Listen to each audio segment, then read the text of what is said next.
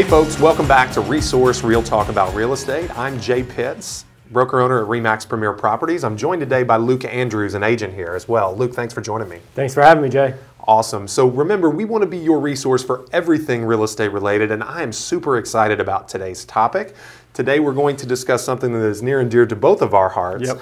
and that's real estate investing. So, you know, we work with a lot of real estate investors, and Luke, I know you do as well. So, why don't you tell our viewers out there what are some of the things that you think the investor looking to kind of get into the space should really get taken care of before they get started? Absolutely, Jay. And that's probably the number one question I get is what do I need to do to get started in real estate investing? Um, you know, number one, you want to make sure that you've got an ROI uh, set up for your money. Decide what it's going to take, um, what type of return that you're going to need in order to start real estate investing. You know, number two, consult a real estate professional. You want to make sure that you've got somebody that you know and trust that does this on a regular basis, um, who can not only help you navigate the waters, um, but who can also help you find deals both on and off the market. Because as you know, the best deals are usually found off market. Absolutely. You know, you want to talk to a property manager. You know, I know for myself and a lot of people that I work with, they don't want to be the ones who go and fix a toilet in the middle of the night or go chase down rent or find new tenants. Um, so consult a property manager. And then you also want to talk to a couple of financial people as well. You know, I, I always recommend one talking to a lender to see what it's going to take to get financed and get qualified for buying an investment property, and then also consult your tax professional. Um, there's a lot of really great tax incentives for real estate investing, but you want to make sure that you're staying well within the government guidelines. So consult that tax professional.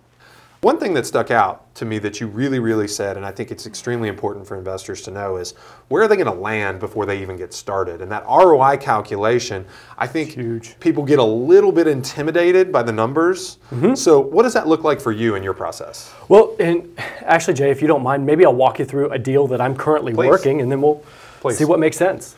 Um, so, right now, I'm looking at purchasing a property for $50,000. And for that $50,000 property, um, I'm expecting $750 per month in rent. Wow. So I know with that particular property um, that I'm going to have a monthly mortgage payment that's principal, interest, taxes, and insurance of right around $300. Okay. Um, and that's, that's a 30 year mortgage there. Okay. Um, in addition, um, you know, I'm like a lot of you, I don't want to have to go fix the toilet in the middle of the night. I don't want to have to go chase rent. So I, I have a property manager. Of course. Um, for that, I pay, it's roughly 10% of the monthly rent that comes in. So there's a $75 monthly expense that I have. Okay. I also hold back 10% each month for what I call lost vacancy, Okay. um, in case I have a month where I don't have a tenant. Somebody moves out unexpectedly, or Sure. you know I've got a, a toilet that breaks and I need to replace it. Um, so there's another $75 there. Um, So with that, that's going to leave me roughly $300 per month in positive cash flow. Now, for that $300 per month, if you annualize that over 12 months, you're looking at $3,600 coming back to you for the year. Now, what does it cost to get into a property like this? Um, so, one, you're going to need to have 20% to put down. So, that's going to be $10,000 there. Okay. And then, in addition, I- I usually count on about $2,000 for closing costs on a property this size. So if you look there, there's a $12,000 um, entry cost, if you will. Um, so with that, if you take the $3,600 return and divide that by the $12,000 entry cost, that's going to be right at a 30% ROI. Now, Wow. I, I don't know about you, but I haven't been able to get that back in the stock market. No, I certainly can't get it from my bank, whether it be a CD and definitely not a savings account. Sure.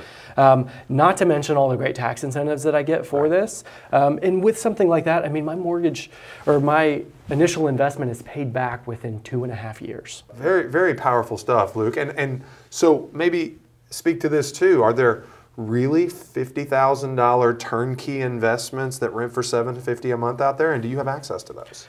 There are a great deal of them out there, and yes, we have access, both on market and off market. Um, this is actually an on market deal that I was able to come across and find. One thing they may be worried about though, Luke, what happens if they start down this path, and the bottom falls out of the market? Again, an excellent question, and that's something that I get from a lot of clients as well. Is what happens if we have another 2009?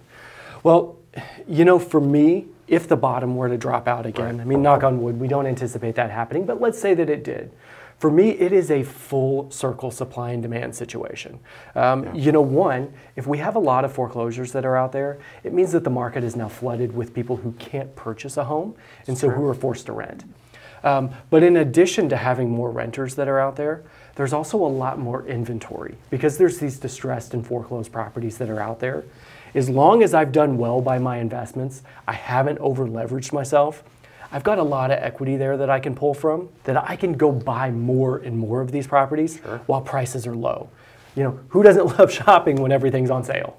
You know, you're absolutely right, Luke. That's really interesting to, to think about the fact that when sales prices go down, rent prices go up. And I, I right. think that may not be something that our, our, our listeners or our viewers think about.